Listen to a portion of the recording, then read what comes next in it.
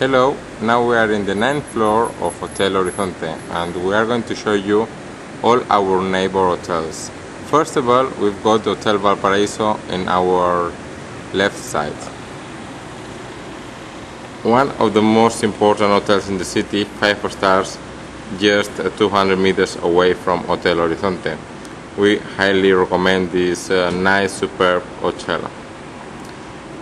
Just beside Hotel Horizonte, we found hmm, the Hotel Hesperia Ciudad de Mallorca, a small cozy hotel of 69 rooms close to the hotel. Hmm. Then we have uh, apartments Augusta here 100 meters away.